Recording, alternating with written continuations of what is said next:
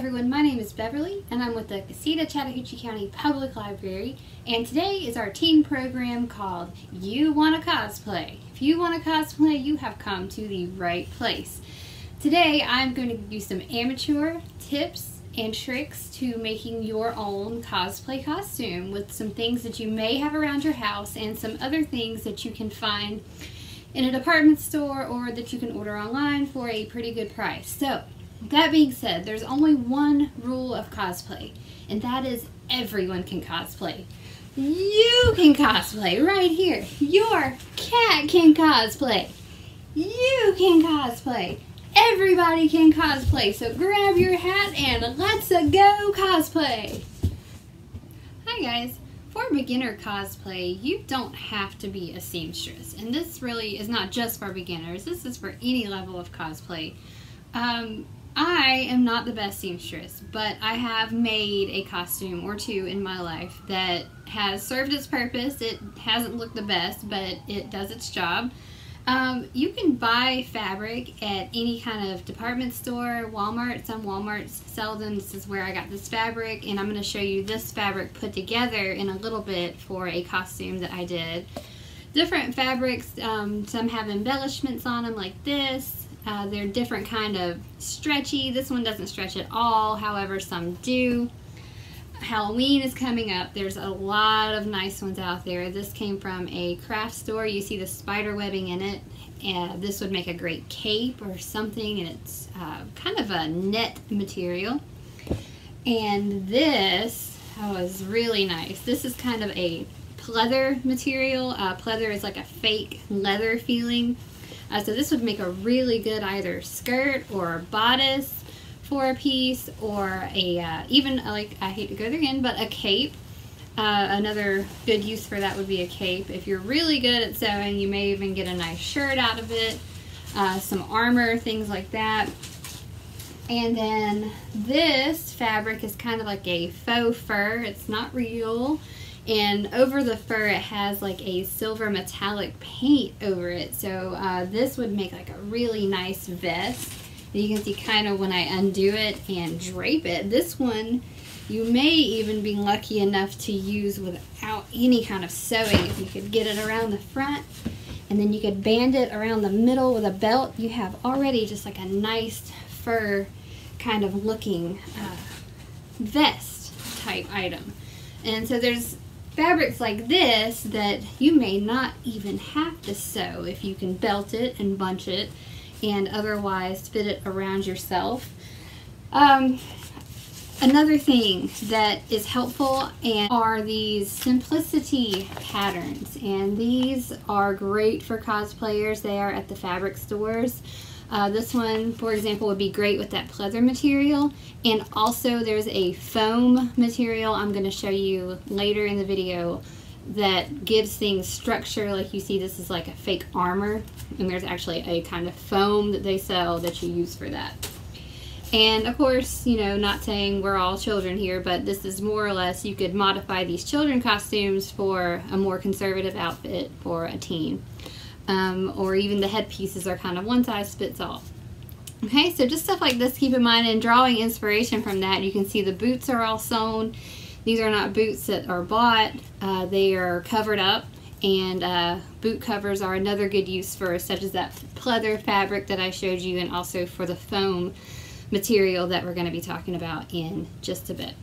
Uh, so stay tuned and on to our next segment of the video are just some very simple sewing techniques to help you learn to put pieces of fabric together. So I'm going to demonstrate on a piece of fabric like this so that you can clearly see just I picked three basic stitches that anybody can do. If I can do them, you can do them. So that's why I picked them. Um, they are uh, pretty simple and they will hold your outfit together. My outfit I made's held together for three years now. So uh, we'll get to that next. Thank you. Another important thing in cosplay is accessorizing with props. Here I have oh, a good looking Mario. He has this nice costume in order. We did not make this. This is a pre-bought costume but we are going to accessorize it. Now, what is Mario without Cappy. A hat can bring so much to your costume. You see my ears I wear here when I'm doing this video. But a hat can bring so much to your costume. And what is Mario without Cappy, right? Come on, we all know Odyssey, right? Alright, what's Mario without little brother Luigi? Taller but smaller. What's Mario without Yoshi, his faithful companion, and the ever annoying but lovable Captain Toad? Alright, so not only do we have Mario, we have Mario with his props. In cosplay, we call them his props or his crew. So now we have Super Mario. So accessorize your cosplay.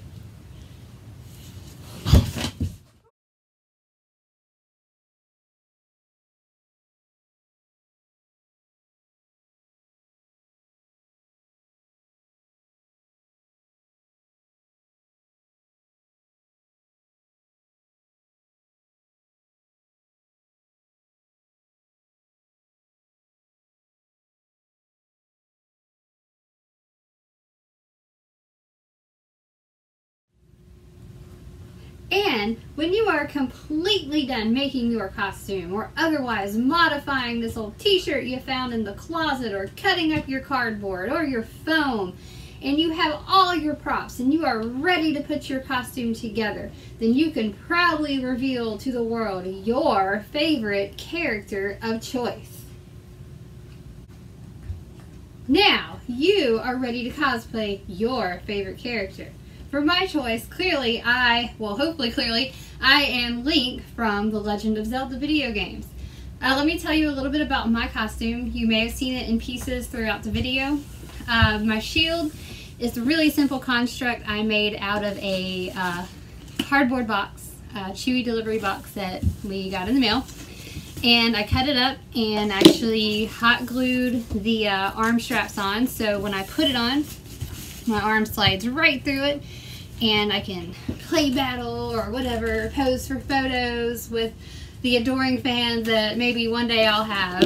Uh, the front part actually, oh, the uh, straps here are made from a mini blind. We had some broken blinds and I took them apart and I sewed fabric around them. I sewed an Old Navy t-shirt around the broken mini blinds and strung that through. The buckle here is painted. It's not real, it's paint. Uh, the shield emblem on the front of my straps is also painted, and this belt belonged to my dad. I borrowed my dad's belt.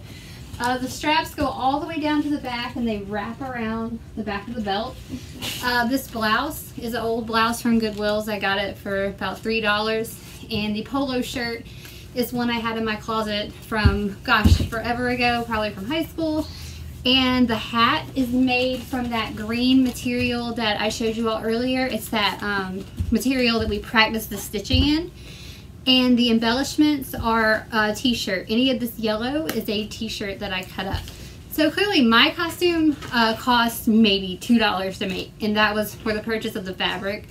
The box was something I had around the house. And the craft paint and stuff was also stuff that I had. Uh, sword, I forgot our sword expense. What we we got this at? Oh, a Dollar General, and we got it two Halloweens ago, and we paid three dollars for it. So in total, my whole look here cost us five dollars. So like I said, cosplay is for everybody. If I can do it, you can do it. The point is, get out there, show your creativity, and have fun. Thank you when your costume is all put together and you are ready to go outside and show it off to the world, being outside and cosplay goes hand in hand. Uh, you get some exercise, you get some fresh air, and people will give you some funny looks sometimes, but it's okay because you're having fun and that's all that matters. So exercise your creativity, show off your costume, get out there right now in the wild open outdoors and enjoy yourself because that's what cosplay is all about. And remember rule one, everybody can cosplay. It's me. Not this guy.